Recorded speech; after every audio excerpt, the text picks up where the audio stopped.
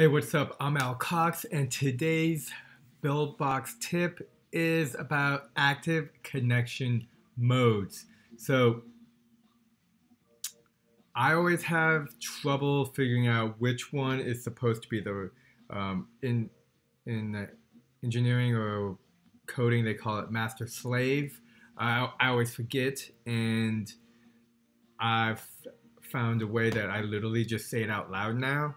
Um, but here, so let's go ahead and delete these, delete these, delete this, and this. And so, here we go. Um, I think I have, these are all, okay, so what I do is I, I'll literally just say, I'll be like master and then slave. And so then you'll know that this one is the slave. So the first one that you can click is the master, and then the second is the slave.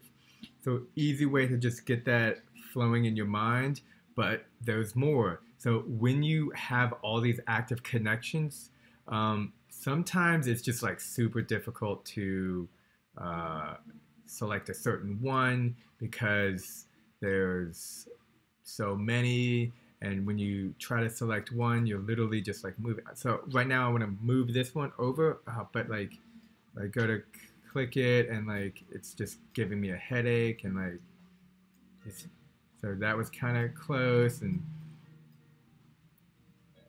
quickly this will get you frustrated. So what you do is uh, let me go ahead and move this. The, oh no let's put that back. So what I found is the best way is select what you want, which is in this case this this guy, and then make sure you have it. So you see how everything is moving. If I move it back, now it's selected. Now I hit the Alt button, and then you can just move it individually.